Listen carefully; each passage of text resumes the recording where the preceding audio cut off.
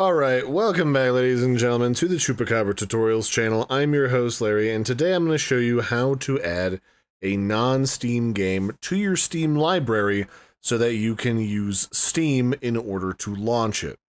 And the simple answer is there is a button here in the lower left-hand corner that says add a game and it gives you three different options. You can add a product from a game code in order to, you know, redeem something that you bought from another store on Steam. You can browse the Steam store for games, which will just, I assume, take you to the store. Or you can add a non Steam game that is already on your computer. Now, this doesn't actually require you to like add a game. You can actually add a piece of software on your computer if for whatever reason you want to be able to launch it from Steam.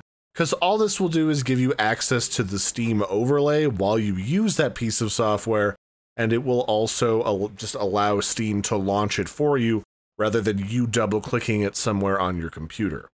Uh, but in this case, I want to add Genshin Impact because I know that's still lingering on this computer somewhere, and I can add the selected program to the list. And now if I type in Genshin, it's right here. You can see Genshin Impact.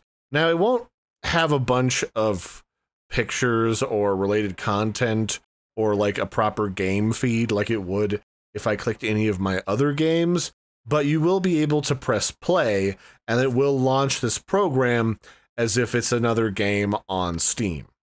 So if you are done with having this game in your Steam library, or something else happens like it, it's throwing an error when you try to run it, because the the location has changed when you updated this game and you have to re-add it.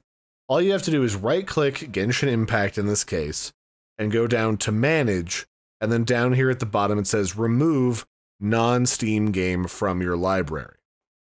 And then, just like that, the game is gone, and then you don't have to worry about it anymore. So I hope you found this helpful. I've been your host, Larry. Don't forget to like and subscribe, and I will catch you next time. Bye, everybody, and have a good one.